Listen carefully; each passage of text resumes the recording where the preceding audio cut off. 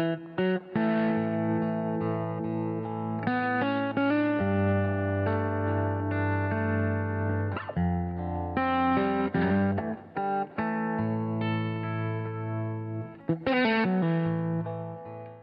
morning, everybody. I am very happy to welcome you another interview on the Guitar Channel. I am with Giulio Negrini. I'm trying not to uh, completely break your, your name. So, Giulio, how are you doing? I'm really great. Mm-hmm. Thank you, Pierre.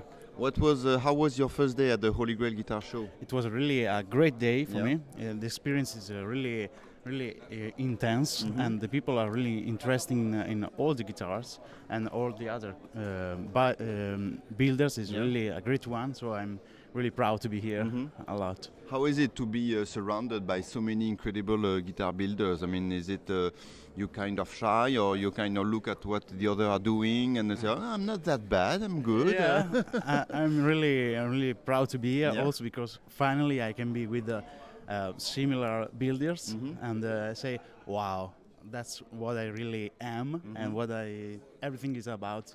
And uh, there is no, you know, Fender Gibson everywhere, and you say, "Oh my gosh, that's not my world."